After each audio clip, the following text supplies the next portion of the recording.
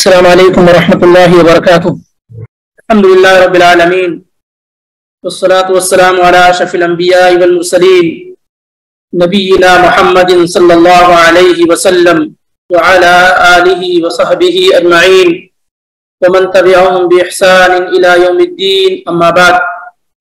قال الله تعالى في كلامه العظيم أعوذ بالله السميع العليم من الشيطان الرجيم يا أيها الذين آمنوا استعينوا بالصبر والصلاة. إن الله مع الصابرين. ولا تقولوا لمن يقتل في سبيل الله أموات. بل أحياء ولكن لا تشعرون. سبحانك لا علم لنا إلا ما علمتنا إنك أنت العليم الحكيم. سورہ بقرہ سے دو آیات. آیت نمبر 153 اور آیت نمبر 154 153 اور 54 یہ تلاوت کی گئی پڑھی گئی انشاءاللہ رب العالمین ہم اور آپ انہی دونوں آیات کو سمجھنے کی کوشش کریں گے اور اسے اپنی زندگی میں نافذ کریں گے۔ پچھلی جو آیات گزری ہیں، اس سے پہلے کی آیت وہ ذکر کے متعلق تھی کہ فضکرونی اذکرکم مشکرونی ولا تکفرون۔ اب ذکر اور شکر وغیرہ کے بعد یہاں پر کئی اہم چیزیں آپ کے سامنے ذکر کی جا رہی ہیں۔ یا ایوہ الذین آمنوا، اے مومنوں، عبداللہ ابن مسعود رضی اللہ تعالی عنہ کہتے ہیں کہ جب قرآن کے اندر آپ یا ایوہ الذین آمنوا سن لو، تو اپنے کان اس طرف لگا لو۔ فَإِنَّهُ خَيْرٌ يُغْمَرُ بِهِ۔ اس لیے کہ اللہ تعالی ایمان والوں سے مخاطب ہے تو خیر اور بھلائی کا حکم دینے جا رہا ہے۔ او شر ینہا عنہ، یا یا ایوہ الذین آمنو کہہ کر کے اللہ رب العالمین تمہیں برائی اور بے حیائی سے روک رہا ہے۔ جب قرآن میں یا ایوہ الذین آمنو آ جائے، تو یہ سمجھنا چاہیے کہ انڈیویژول ہم سے خطاب ہے، ہم سے گفتگو کی جا رہی ہے۔ ہم سے بات کہی جا رہی ہے، ہمیں کسی بات کا حکم دیا جا رہا ہے یا ہمیں کسی چیز سے روکا جا رہا ہے۔ تو یا الذین آمنو، آ جانے کے بعد آدمی کسی بھی صورت میں اگنور نہیں کر سکتا ہے۔ اگنور کرنے کا مطلب یہ ہے کہ وہ اللہ تعالیٰ کی آواز پر لبیک نہیں کہہ رہا۔ ہے جیسے مثال کے طور پر کوئی آپ کو بلائے، بھائی فلاں ادھر آؤ۔ تو آپ یہ سن لینے کے بعد آپ ادھر ادھر نہیں ہو سکتے اور اگر ایسا کرتے ہیں آپ تو یہ مناسب اور درست نہیں ہوگا۔ اور ایسے ہی جب اللہ تعالیٰ کا یا والذین آمنوا، اتنی ساری دنیا لوگ والوں میں اللہ تعالیٰ نے اہل ایمان کو مخاطب کیا کہ اے مومنو تو اب آدمی کو کیا کرنا چاہیے؟ کان اس طرف لگا لینا چاہیے۔ یہ اس سے پہلے بھی ذکر کیا جا چکا ہے اور آج بھی ذکر کیا جا رہا ہے۔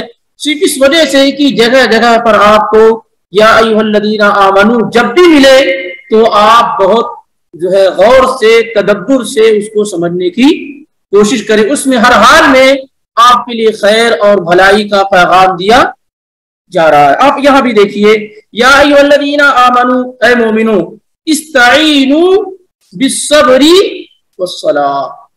استعینو، تم لوگ مدد طلب کرو، مدد چاہو، کس ذریعے سے؟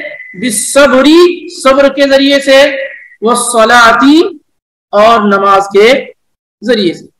کیونکہ ہم اور آپ یہ جانتے ہیں کہ اگر ہم ایمان والے ہیں تو آفات اور مصیبات، پریشانیاں، یہ ساری ہماری زندگی کا مقدر ہوں گی۔ اگر ہم اہل ایمان ہیں تو ہمیں کیا ہر حال میں پریشانیاں اور مصیبتیں آئیں گی؟ اسی لیے اللہ تعالیٰ نے کہا ہے مومنو استعینوا بالصبر والصلاة۔ اپنی پریشانیوں پر صبر اور نماز کے ذریعے سے اللہ کی مدد طلب کرو، مدد چاہو۔ ان اللہ مع الصابرین، یقیناً اللہ صبر کرنے والوں کے ساتھ ہے۔ یہ صبر کرنے والوں کی معیت جو ہے اللہ تعالیٰ کی دو طرح کی ہے۔ ایک معیت خاصہ یعنی اللہ تعالیٰ کا خاص کرم آپ پر ہو، اللہ تعالیٰ کی خاص نصرت آپ پر ہو۔ اللہ تعالیٰ کا خاص کرم آپ پر ہو یہاں پر اسی کا ذکر ہو رہا ہے، ان اللہ مع الصابرین، یقیناً اللہ تعالیٰ کی خاص نصرت اور مدد صبر کرنے والوں کے کیا ہے؟ ساتھ ہے۔ اس کا یہ مطلب نہیں جیسا کہ بہت سارے لوگ بیان کرتے ہیں کہ اللہ تعالیٰ بذات خود اس کے ساتھ ہے۔ یعنی جسمانی طور پہ نعوذ باللہ من ذالک۔ یا جیسے بہت سارے لوگوں کا یہ عقیدہ ہے کہ اللہ موجود فی کل مکان، اللہ تعالیٰ ہر جگہ موجود ہے۔ یہ نہیں تمام قرآن کی تمام آیات میں اگر آپ غور و فکر کریں گے تو آپ کو یہ بات ملے گی کہ جہاں بھی اس طرح کی بات کہی جا رہی ہے، اس کا مطلب یہ ہے، ایک تو یہ ہے کہ تم کہیں بھی رہو، اللہ تمہیں دیکھ رہا ہے۔ وہ ہوا ماں تمہیں ماں کن تم کہیں بھی رہو، تم اللہ تعالیٰ سے اوجھل، مخفی اور پوشیدہ نہیں ہو۔ یا پھر اگر خاص معیت کا ذکر ہو رہا ہے کہ اللہ تعالیٰ تمہارے ساتھ ہے تو اس کا مطلب یہ ہے کہ اللہ تعالیٰ کی مدد، اس کی نصرت اور اس کی توجہ، اس کا کرم تمہارے ساتھ ہے۔ جیسے جب سیدنا ابو بکر صدیق رضی اللہ تعالیٰ عنہ غار سور میں ڈرنے لگے تھے کہ مشکین بالکل قریب پہنچ چکے ہیں، تو اللہ کے نبی علیہ السلاۃ والسلام نے کہا، لا تحزن، ان اللہ معنا۔ ڈرو نہیں، اللہ ہمارے ساتھ یعنی اللہ کی نصرت، اللہ کی مدد ہمارے ساتھ ہے۔ تو ان اللہ مع صابرین یقیناً صبر کرنے والوں کے ساتھ کیا ہے؟ اللہ رب العالمین ہے۔ اس کا مطلب یہ کہ جو صبر نہیں کرتے ان کے ساتھ، اللہ کی معیت، اللہ کی نصرت نہیں ہوتی ہے۔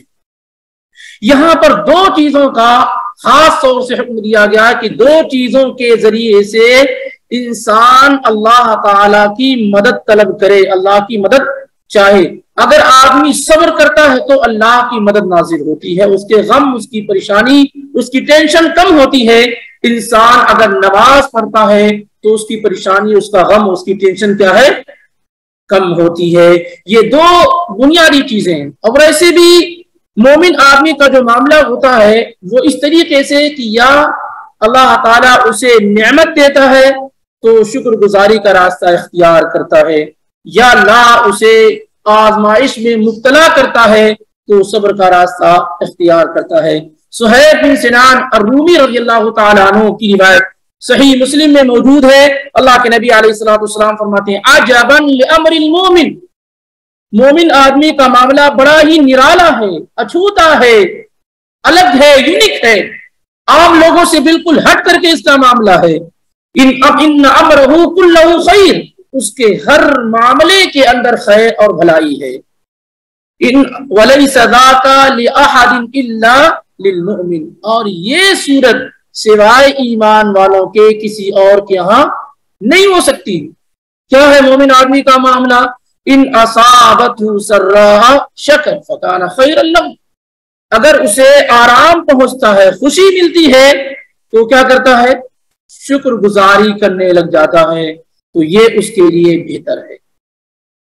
وَإِنْ أَصَابَتْهُ دَرَّا صبر اور اگر اسے تکلیف پہنچتی ہے تو واویلا نہیں کرتا، شور نہیں مچاتا، جزا، فضا نہیں کرتا، بلکہ صبر کرنے لگتا ہے۔ اور یہ اس کے حق میں کیا ہے؟ بہتر ہے۔ اور یہ سوائے اہل ایمان کے کسی کے یہاں پوری دنیا میں چراغ لے کر کے بھی آپ تلاش کریں گے تو کوئی نہیں ملے گا۔ مگر وہ جس کے دل و دماغ کے اندر اللہ اور اس کے رسول کی محبت اور تعلیمات بچی ہوئی ہوں، بسی ہوئی ہوں۔ اگر اس کو نعمت ملتی ہے تو شکر گزاری کرتا ہے اور اگر تکلیف پہنچتی ہے تو صبر کرتا ہے۔ لوگ دونوں چیزوں میں آپ اگر دیکھیں گے تو شکر گزاری اور زیادہ مشکل ہوتی ہے۔ صبر تو ایک آدمی کر بھی لے جاتا ہے کسی نہ کسی اس میں، لیکن شکر گزاری اس سے زیادہ بڑا مرحلہ ہے۔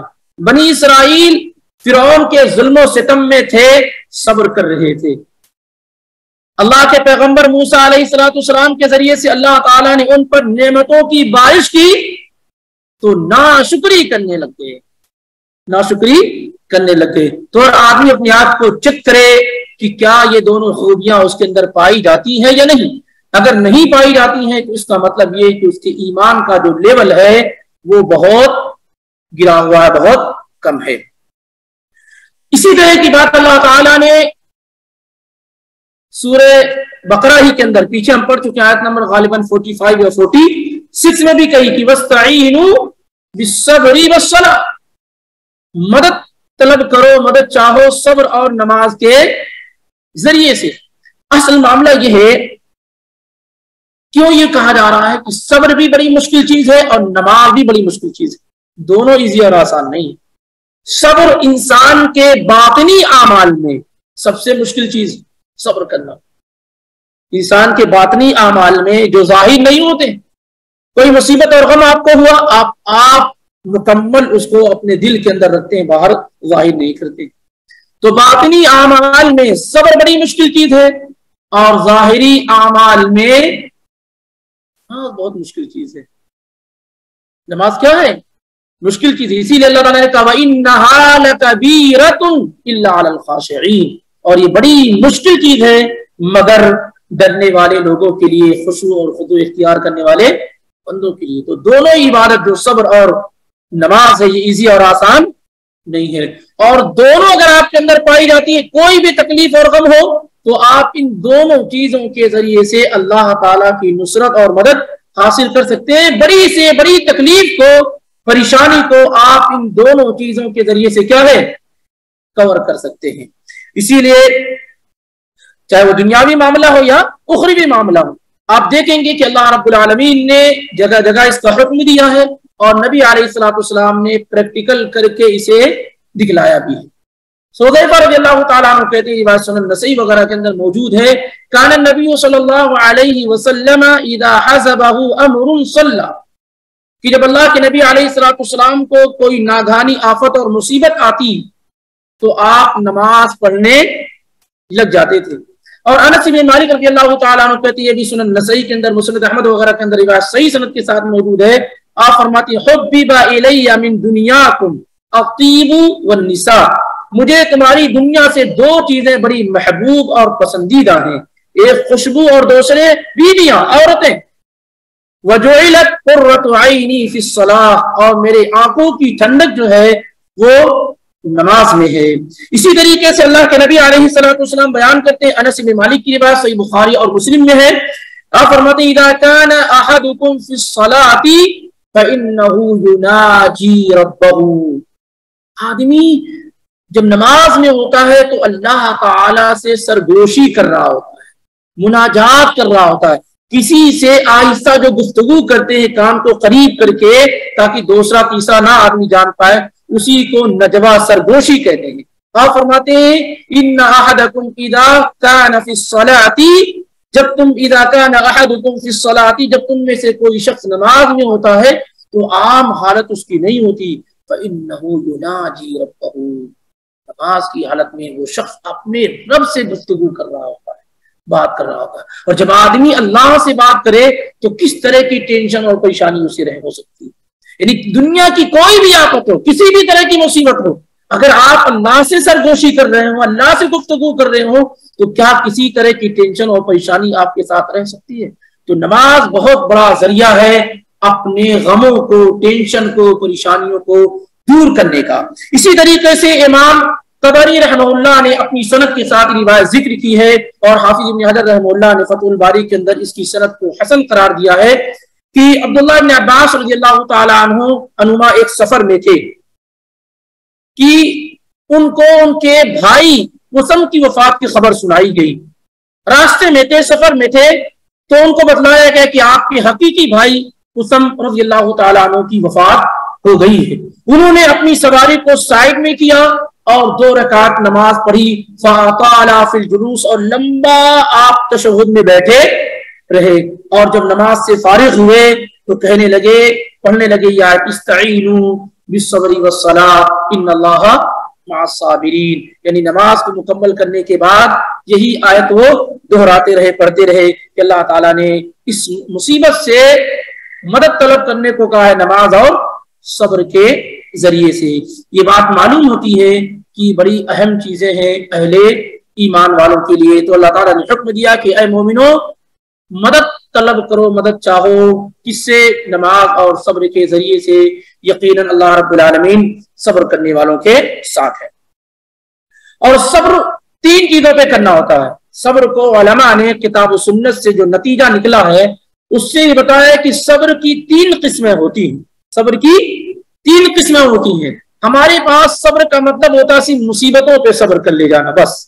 کوئی آفت اور مصیبت آ گئی ہے، آپ اس پہ جزا فضا نہ کریں، یہ صبر ہے۔ نہیں، علماء نے تین قسمیں بیان کی ہیں۔ ایک قسم یہ کہ الصبر اللہ اللہ تعالی کی اطاعت پر صبر کرنا۔ جن چیزوں کے کرنے کا اللہ تعالی نے حکم دیا ہے، وہ آسانی کے ساتھ نہیں کیا جا سکتا۔ جب تک کہ آپ کے اندر صبر نہ پایا جائے۔ آپ دیکھیں، فجر کی نماز کے لیے اٹھنا کتنا مشکل ہے۔ نفس کو ناگوار گزرتا ہے، لیکن آپ، اللہ نے اس کے کرنے کا حکم دیا ہے۔ آپ اس اس مصیبت پر اٹھنے کی مصیبت پر صبر کرتے ہیں نیند کی مصیبت کو قربان کرتے ہیں اور نماز آ کر کے پڑھتے ہیں۔ ایسے بہت ساری چیزوں کا اللہ تعالیٰ نے حکم دیا۔ آپ حج کرتے ہیں، اللہ تعالیٰ کی اطاعت ہے۔ چلنا آپ کے لیے مشکل ہوتا ہے، دوڑنا آپ کے لیے مشکل ہوتا ہے، کنکری مارنا مشکل ہوتا ہے، کئی چیزیں ایسی ہوتی ہیں۔ لیکن آپ ان تمام مصیبتوں اور مشکلوں پر صبر کرتے ہیں، کیونکہ اللہ تعالیٰ نے ایسا کرنے کا حکم دیا ہے۔ اس کو کہتے ہیں، الصبر علی طاعت اللہ۔ اللہ تعالیٰ کی اطاعت پر صبر کرنا۔ دوسری کیا؟ الصبر علی معصیت اللہ۔ الصبر عن اللہ۔ اللہ تعالیٰ نے جن چیزوں سے روکا ہے، اس پر صبر کرنا۔ آپ مارکیٹ اور بازار میں گئے، ایک سے ایک حسیناؤں کا اکٹھا ہونا اور جمع ہونا ہے۔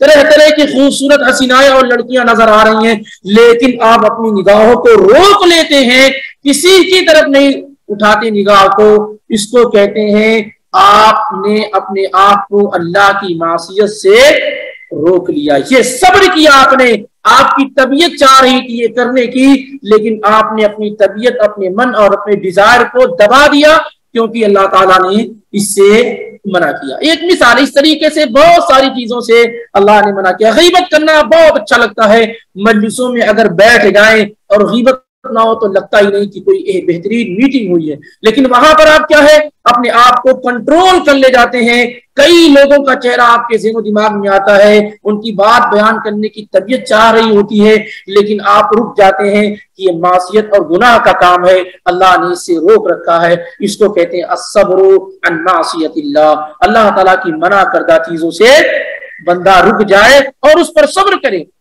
تیسری چیز کیا؟ الصبر علی اقدار اللہ۔ اللہ تعالیٰ کی تقدیروں پر صبر کرے۔ اللہ نے جو کچھ آپ کے لیے لکھ رکھا ہے، مصیبتیں، پریشانیاں، ٹینشنیں، اموات، مالوں میں نقصان، جاب لیس ہونا، وغیرہ وغیرہ۔ ان تمام چیزوں پر آدمی کیا کرے؟ صبر کرے۔ جس کو کہتے ہیں، تقدیر پر ایمان لانا۔ وَتُؤْمِنُ بِالْقَدْرِ خَيْرِهِ وَشَرِّهِ۔ آدمی تقدیر کی اچھائی اور برائی پر جو کچھ اللہ نے اس کے لیے لکھ رکھا ہے، اس پر ایمان لائے اور اس پر وہ صبر کرے۔ تو یہ تین قسمیں علماء نے بیان کی ہیں۔ ایک یہ کہ اللہ کی اطاعت پہ صبر کرنا، دوسرے یہ کہ اللہ تعالیٰ کی منع کردہ چیزوں پر صبر کرنا، اور تیسرے یہ کہ اللہ تعالیٰ کی تقدیر جو اللہ نے لکھ رکھا ہے، اس پر کیا ہے؟ صبر کرنا۔ آگے کی آیت میں اللہ تعالیٰ نے کہا، وَلَا تَقُولُوا لِمَنْ يُقْتَلُ فِي سَبِيلِ اللَّهِ اموات بل احیاء ولكن لا تشعرون. ولا تقولوا اور نہ کہو لمن يقتل ان لوگوں کے بارے میں، جو قتل کر دیے گئے ہیں فی سبیل اللہ اللہ کے راستے میں اموات مرے ہوئے، مردہ۔ جو اللہ کے راستے میں قتل کر دیے گئے ہیں، انہیں تم کیا ہے؟ مردہ نہ کہو۔ بل احیاء، بلکہ وہ زندہ ہے ولا تشعرون، لیکن ان کی زندگی کا تمہیں کوئی شعور اور ادراک نہیں ہے، تمہیں معلوم نہیں ہے۔ یہاں پر آپ غور کریں گے تو یہ آیت کو غور سے سمجھیے، کیونکہ انہی آیات کے ذریعے سے ہمارے پاس لوگوں کی ایمان اور عقیدوں سے کھیلنے کی کوشش کی جاتی ہے۔ اور یہ کہا جاتا ہے کہ جو شہید ہو گئے ان کو مردہ نہیں کہہ سکتے، وہ زندہ ہیں۔ بولو گے تو سنیں گے، مانگو گے تو دیں گے۔ اسی انہی آیات کی بنیاد پر۔ اللہ ان اولیاء اللہ لا خوف علیہم ولا هم يحزنون اتنا کوٹ کرتے ہیں اور اس کے بعد الذين امنوا وكانوا يتقون کو چھوڑ دیتے ہیں، کیونکہ اولیاء کی ڈیفینیشن بیان کی جا رہی ہے کہ کون لوگ ہیں۔ تو یہاں پر کہا جا رہا ہے، ولا تقولوا لمن يقتل في سبيل الله اموات جو لوگ اللہ کے راستے میں قتل کیے گئے ہیں، انہیں تم مردہ نہ کہو، بل احیاء بلکہ وہ زندہ ہے۔ ولیکن لا تشعرون، لیکن تمہیں اس کا کوئی شعور نہیں ہے۔ تمہیں ان کی زندگی کے بارے میں معلوم نہیں ہے۔ یہ آیت اصل میں بالکل واضح ہے، اس میں کوئی جھول نہیں ہے۔ کوئی ایسی چیز نہیں کہ آدمی نہ سمجھ سکے۔ کوئی ایسی چیز نہیں ہے کہ آدمی نہ سمجھ سکے۔ کیونکہ اللہ تعالیٰ نے اس آیت کو دوسری جگہ بھی بیان کیا۔ وَلَا تَحْسَبَنَّ الَّذِينَ قُتِلُوا فِي سَبِيلِ اللَّهِ أَمْوَاتًا۔ جن لوگ جو لوگ اللہ کے راستے میں قتل کر دیے گئے ہیں، انہیں تم مردہ مت سمجھو۔ بلکہ بل احیاء عند ربهم يرزقون بلکہ وہ اللہ کے پاس، اپنے رب کے پاس زندہ ہیں اور انہیں روزیاں دی جاتی ہیں۔ یہاں کہا جا رہا ہے کہ وہ زندہ ہے لیکن ان کی زندگی کا کوئی شعور تمہیں نہیں ہے، کوئی ادراک تمہیں نہیں ہے۔ عال عمران میں کہا جا رہا ہے وہ زندہ ہے لیکن کہا اپنے رب کے پاس۔ اور وہاں ان کو روزیاں دی جاتی ہیں۔ معلوم یہ ہو رہا ہے کہ ان کی جو زندگی ہے، اس اس کا اس زندگی سے کوئی تعلق نہیں ہے۔ اس زندگی سے کوئی تعلق نہیں ہے۔ تو پھر سوال یہ کہ اللہ تعالیٰ نے یہ کیوں کہا کہ ان کو مردہ نہ کرو؟ وہ زندہ ہے کیوں منع کیا جا رہا کہ مردہ نہ اصل میں یہ من باب اکرام ہے۔ یہ کیا ہے؟ من باب اکرام ان کی عزت، مقام اور مرتبے کو بلند کرنے کے لیے یہ کہا جا رہا ہے کہ آپ ان لوگوں کو جو اللہ کے راستے میں اپنی جان کو قربان کر دیں، ان کو عام لوگوں کی طرح مت سمجھو کہ بھائی یہ مر گئے، یہ مر گئے۔ بلکہ یہ کہو کہ یہ اللہ کے راستے میں قتل کر دیے گئے ہیں۔ انہوں نے اپنی جان کو اللہ کے لیے قربان کر دیا ہے۔ ان کو عام لوگوں کی طرح مردہ نہ سمجھو، اسی لیے ولا تحسبن، کہا گیا، نہ سمجھو۔ اور یہاں بھی کہا جا رہا ہے کہ نہ کہو۔ اس کی وجہ صرف یہی ہے کہ اللہ تعالیٰ کو یہ پسند نہیں ہے اور اس کی عزت کو یہ گوارا نہیں ہے کہ جو لوگ اس کی راہ میں، اس کی دین کی خاطر قتل کر دیے جائیں، ان کو عام لوگوں کی طرح مردہ کہہ کر کے پکارا جائے۔ جیسے ایک آدمی کہتا فلاں مر گئے، فلاں مر گئے۔ تو ایسا آدمی جو اللہ کی راہ میں قتل کر دیا جائے، اس کو نہ کہ مر گیا وہ آدمی۔ بلکہ کہو کہ اللہ کے راستے میں اس نے اپنے آپ کو اپنے آپ کو قربان کر دیا۔ وغیرہ اصل بات تو یہ کہ دنیا کی جو زندگی ہے، روح کا جسم سے جو الگ ہو جانا ہے، وہ ان پر کیا ہے؟ واقع ہو چکا ہے۔ اور یہ موجود ہے، کیونکہ ان کی روحیں ان کے جسموں سے الگ ہوئی، تبھی دفن کیے گئے ان کو۔ تبھی ان کی بیوی بیوہ ہوئی، تبھی بچے یتیم ہوئے۔ تبھی ان کی میراث لوگوں میں تقسیم ہوئی۔ اگر ان کی زندگی عام زندگی جیسی ہوتی، تو کھاتے پیتے، لوگوں کے درمیان رہتے۔ اس کا یہ مطلب نہیں مطلب یہ کہ موت ان پر واقع ہو گئی ہے، لیکن چونکہ انہوں نے اپنی اپنے آپ کو اللہ کے لیے قربان کیا ہے، اس لیے انہیں عام لوگوں کی طرح مردہ نہ کہا جائے، تاکہ ان کی عزت اور مقام و مرتبے پر کوئی گن آئے۔ باقی معاملہ یہ رہا کہ وہ وفات پا چکے ہیں، اس دنیا سے رخصت ہو چکے ہیں، اس میں کوئی شک اور شبہ نہیں ہے۔ ان کو دفن کیا خود اللہ کے پیغمبر نے۔ شہداء احد کو ستر بہتر لوگوں کو آپ نے دفن کیا۔ چودہ لوگ غزوہ بدر میں شہید ہوئے۔ ان کو اللہ کے نبی علیہ السلام السلام نے دفن کیا۔ اور پھر ان کے، ان کی عورتوں سے نکاح دوسرے صحابہ نے کی اور ان کی میراث کو تقسیم کیا گیا۔ تو ہم، مجھے تو نہیں معلوم کہ کوئی آدمی زندہ ہو تو اس کی بیوی سے کوئی نکاح کر سکتا ہو۔ اس کی پراپرٹی لوگوں میں تقسیم کی جا سکتی ہو اس کا مطلب یہ ہے کہ جو دنیا سے تعلق ختم ہونا ہے، وہ کیا ہے؟ واقع ہو چکا ہے۔ اور جو کہا جا رہا نہ کہو، یہ عام لوگوں کی طرح ان کو مردہ کہنے سے کیا ہے؟ منع کیا جا رہا ہے۔ کیونکہ انہوں نے اللہ رب العالمین کے لیے اپنے آپ کو قربان کیا۔ ظاہر سی بات ہے، عمل میں یہ بہترین عمل ہے۔ عمل میں یہ کیا ہے؟ بہترین عمل۔ اللہ کے نبی علیہ السلاۃ السلام نے کہا کہ من قاتل لتکون کلمت اللہ جو آدمی لڑائی کرے، قتال کرے، اس وجہ سے اس لیے تاکہ اللہ کا کلمہ بلند ہو جائے، اللہ کا نام بڑا ہو جائے تو فی سبیل اللہ تو اس کی موت، عام موت نہیں ہے، وہ اللہ کی راہ میں مارا گیا، وہ اللہ کی راہ میں قتل کیا گیا اللہ کی راہ میں اسے شہید کیا گیا۔ اسی لیے ایسے لوگوں کا مقام و مرتبہ جو اللہ کی راہ میں قتل کر دیے جائیں، صرف اللہ کی خاطر، ریا و نمود نہ ہو دکھاوا نہ ہو ایسے لوگوں کی بڑی فضیلت، مقام اور مرتبہ بیان کیا گیا ہے۔ عبداللہ بن مسعود رضی اللہ تعالیٰ عنہ کی روایت صحیح مسلم کے اندر موجود ہے۔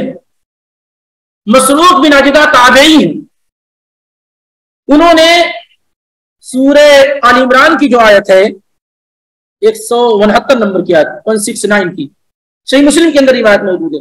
مسروق کہتے ہیں کہ میں نے عبداللہ ابن مسعود سے اس آیت کے بارے میں سوال کیا۔ تو اسی آیت؟ ولا تحسبن الذين قتلوا في سبيل الله امواتا کہ جو لوگ اللہ کے راستے میں قتل کر دیے گئے ہیں، تم انہیں مردہ مت سمجھو۔ بل احیاء عند ربهم يرزقون۔ بلکہ وہ اپنے رب کے پاس زندہ ہیں۔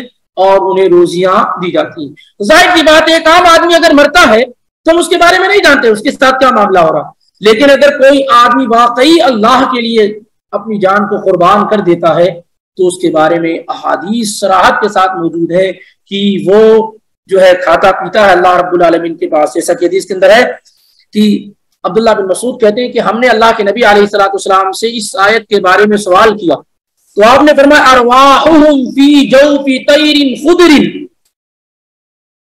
کی شہداء کی جو روحیں ہیں، وہ سر سبز پرندوں کے پیٹ میں ہوتی لا قنادیل معلقۃ بالعرش. اور اس کی قندیلیں عرش سے معلق ہوتی ہیں، ملی ہوئی ہوتی، لٹکی ہوئی ہوتی تسرح من الجنت حیث شاءت پوری جنت میں جہاں سے چاہتی ہیں، کھاتی پیتی، عیش کرتی ہیں.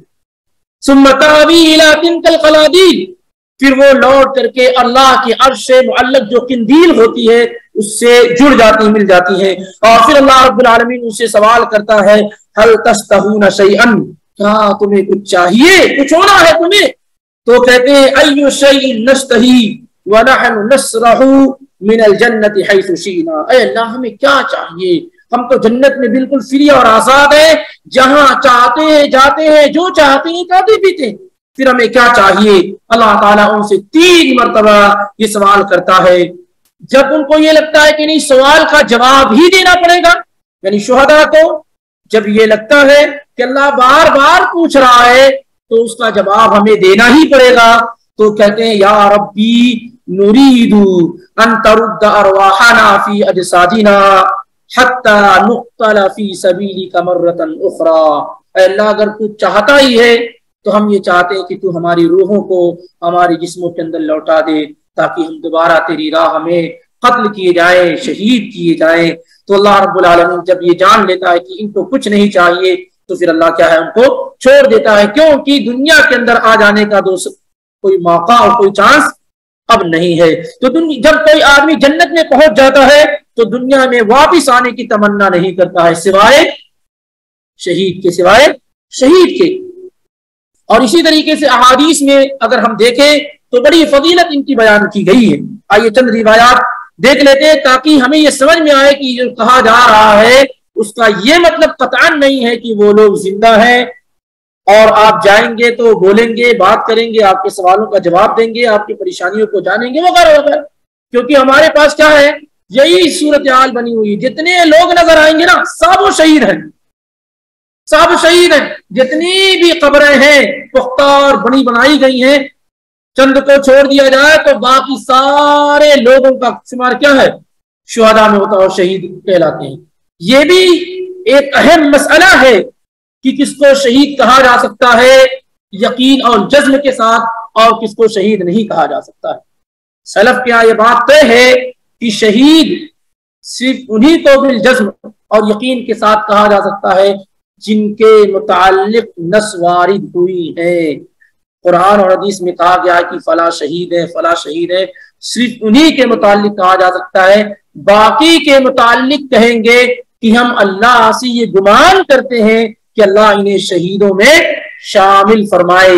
یقینی طور پہ ہم یہ کہیں کہ فلاں آدمی شہید ہے، اگرچہ اللہ کے راستے میں اس کی اس کو قتل کیا گیا ہو، تب بھی ہم یقین کے ساتھ اس کے متعلق کیا ہے، شہادت کا سرٹیفکیٹ نہیں دے سکتے۔ امام بخاری رحمت اللہ علیہ یہ باب باتیں صحیح بخاری کے اندر کہ باب لا يقال فلان شہید۔ یہ چیپٹر ہے اس بات کے بیان میں کہ یہ نہیں کہا جائے گا کہ فلاں آدمی کیا ہے، شہید ہے۔ اس لیے سلف کے یہاں، سلف کا منہج اور ان کا طریقہ یہ ہے کہ کتاب و سنت میں جن کو جن کی نشاندہی کہی گئی کی گئی ہے کہ فلاں شہید ہیں، فلاں شہید ہیں، ان کو شہید کہا جائے گا۔ باقی لوگوں کے متعلق حسن زن رکھا جائے گا اور اللہ تعالیٰ سے یہ تمنا کی جائے گی کہ انشاءاللہ فلاں آدمی کو اللہ تعالیٰ شہادت میں یا شہیدوں میں شامل فرمائے گا۔ لیکن ہمارے پاس چونکہ بنیادی علم نہیں ہوتا ہے، اس لیے ہر ایرو گیرو نتھو خیرو کو کیا ہے؟ شہادت کا سرٹیفکیٹ دیتے رہتے ہیں اور ان کے ساتھ باقاعدہ یہ لاحقہ لگاتے، فلاں شہید ہے فلاں شہید ہے اور ان کے نام کے ساتھ یہ چیزیں ذکر کرتے ہیں۔ شرعی طور پر یہ چیز مناسب نہیں ہے۔ اگر واقعات وہ اللہ کے راستے میں قتل کیے گئے ہیں، تب بھی ہم انہیں کہیں گے کہ انشاءاللہ یہ شہید ہوں گے۔ مشیت اللہ کے اوپر، کیونکہ ہم نہیں جانتے، ہو سکتا ہے کہ اس نے شجاعت کے لیے لڑائی کی۔ ہو سکتا ہے اس نے کسی اور وجہ سے لڑائی کی ہو اور شہید صرف وہ ہوتا ہے جو اللہ کے لیے لڑائی کرتا ہے اور قتل کیا جاتا ہے۔ اس لیے یہ قاعدہ بھی یاد رکھے بھائی، یہ چند روایات ہم اور آپ سرسری طور پہ جو شہید کی فضیلت بیان کی گئی اسے سن لیں۔ صحیح مسلم میں روایت عبداللہ بن عمر بن عاص رضی اللہ تعالیٰ عنہ سے مروی ہے، موجود ہے۔ وہ کہتے ہیں کہ اللہ کے نبی علیہ السلام والسلام نے کہا یغفر للشہید کل ذنب الا الدین۔ شہید آدمی کا ہر گناہ معاف کر دیا جاتا ہے سوائے قرض کے، سوائے قرض کے۔ ساری کی ساری چیزیں کیا ہے؟ معاف کر دی جاتی ہیں۔ اور اسی طریقے سے سنن ترمیدی میں، سنن ابن ماجہ میں، اور اسی طریقے سے مسند احمد میں مقدار بن معدی قریب رضی اللہ تعالیٰ عنہ سے روایت موجود ہے۔ کہ آپ فرماتے ہیں کہ شہید کے لیے اس شہیدی ست خصال شہید کے لیے چھ خوبیاں ہیں۔ شہید کے لیے چھ اوارڈ اور نوازشیں ہیں۔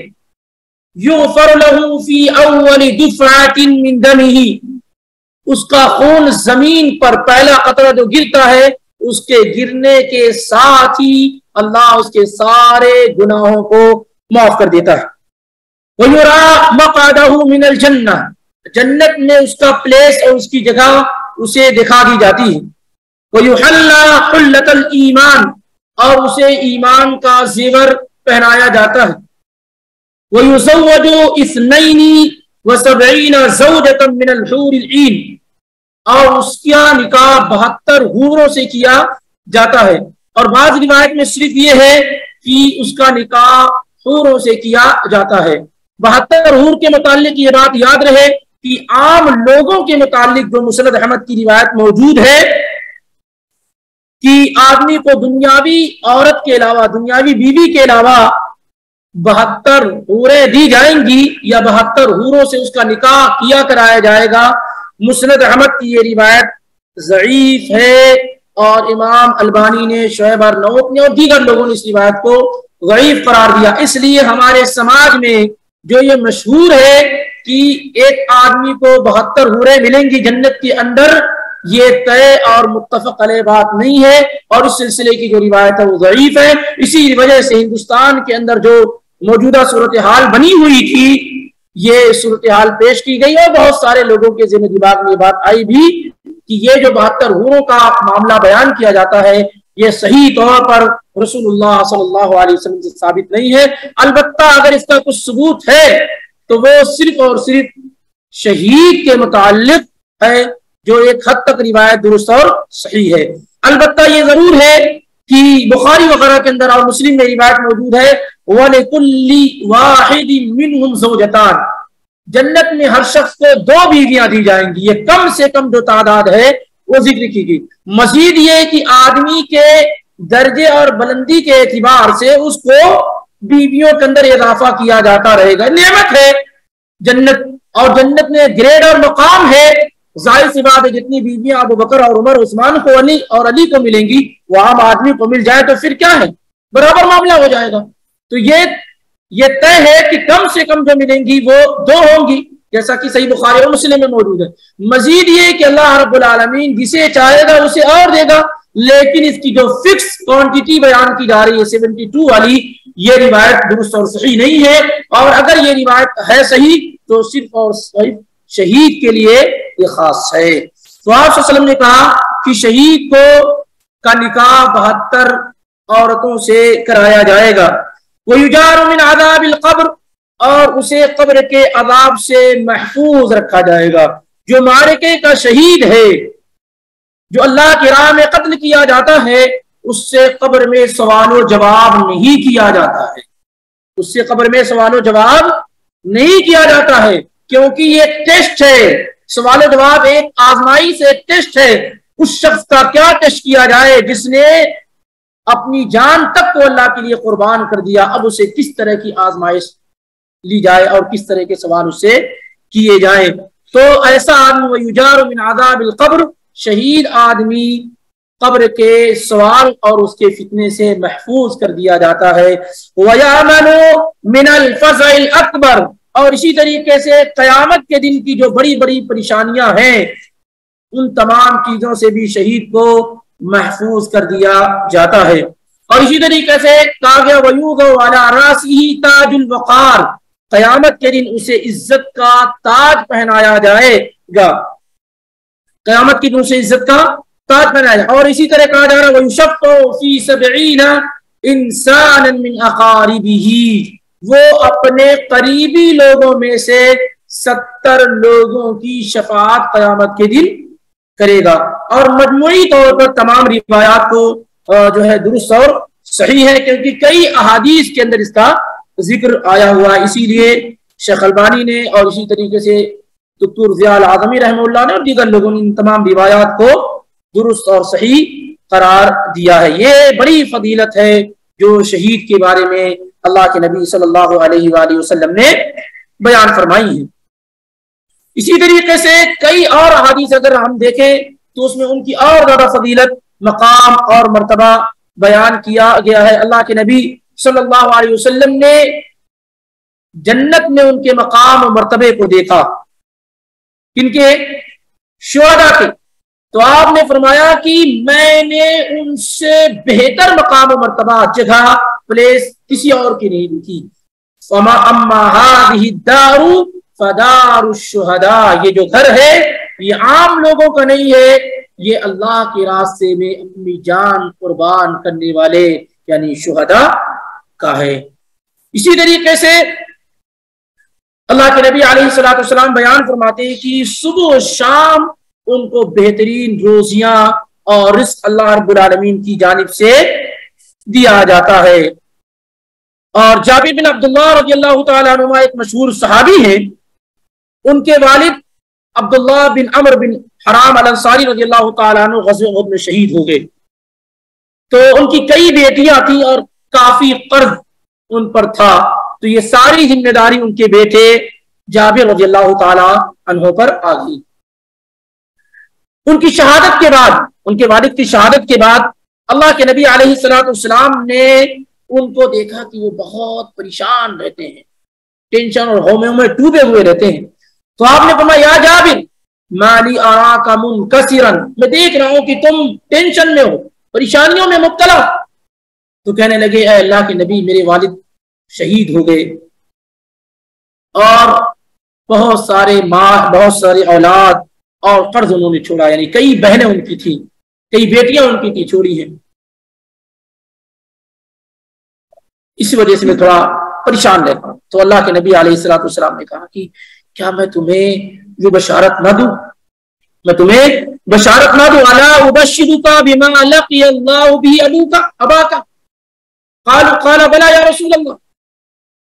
اللہ کے نبی علیہ السلاۃ السلام نے کہا، میں تمہارے والد کے متعلق جو اللہ تعالیٰ نے ان کا اکرام کیا، عزت کی، اس بارے میں تمہیں خوشخبری نہ دوں تو جابر رضی اللہ تعالیٰ نے کہا، اللہ کے نبی ضرور بتائیے۔ تو آپ نے فرمایا کہ ما کلم اللہ احدا قط الا من وراء حجاب۔ اللہ نے کبھی کسی سے بات نہیں کیا مگر پردے کے پیچھے سے۔ کسی سے بھی اللہ تعالیٰ نے بات نہیں کی مگر پردے کے پیچھے سے۔ خود اللہ کے پیغمبر جب گئے ہوئے تھے، تب بھی جو گفتگو ہو رہی تھی، وہ پردے کے پیچھے سے ہو رہی تھی۔ وَأَحْيَا أَبَاكَ فَكَلَّمَهُ لیکن اللہ نے تمہارے والد کو زندہ کیا اور ان سے پردے کے بغیر آمنے سامنے گفتگو کی۔ آمنے سامنے گفتگو کی۔ یہ روایت سنن ترمیزی میں ماجہ میں، وغیرہ میں اور مسرد احمد میں موجود اور روایت صحیح۔ تو اللہ تعالیٰ نے تمہارے والد سے اس طریقے سے گفتگو کی۔ وکلم آبا کا کفاح تمہارے والد سے بغیر پردے کی گفتگو کی۔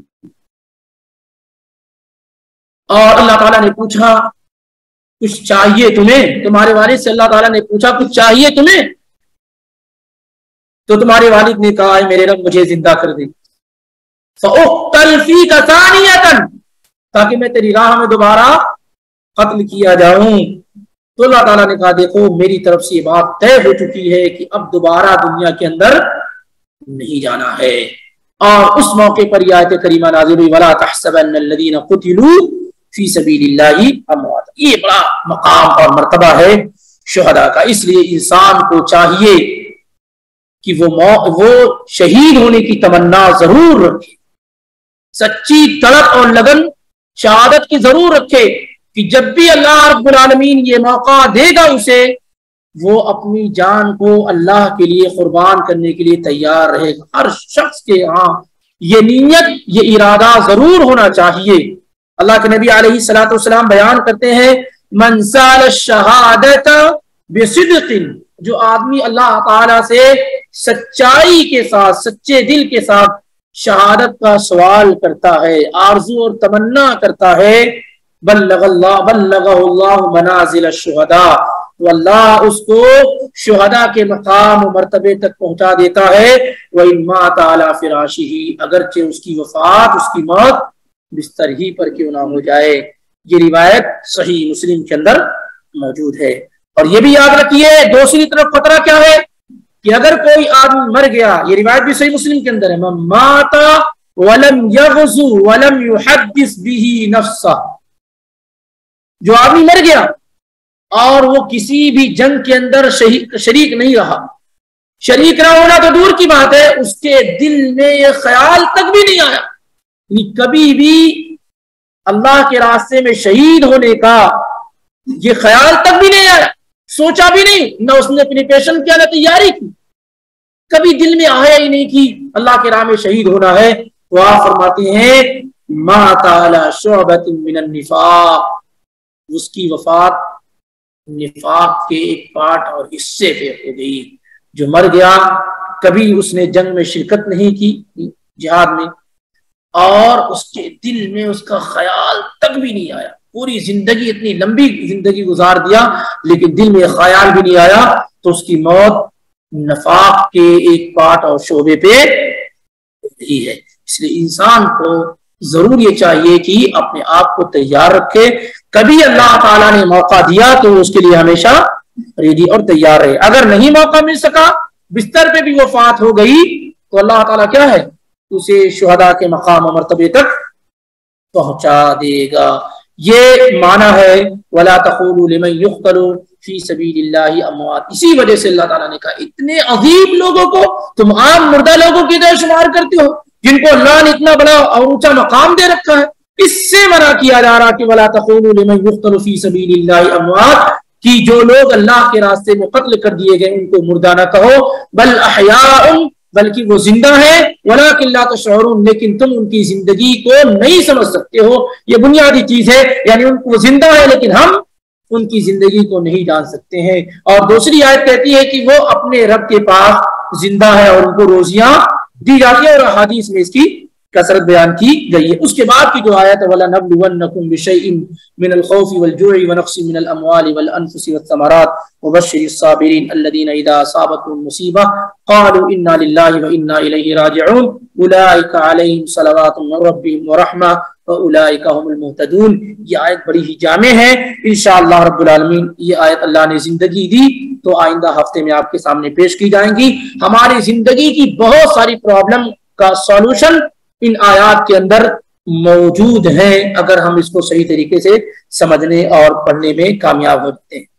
تو اس طریقے سے اللہ رب العالمین کے فضل و کرم سے جو آیات تھی دو وہ آپ کے سامنے مکمل ہو چکی ہیں۔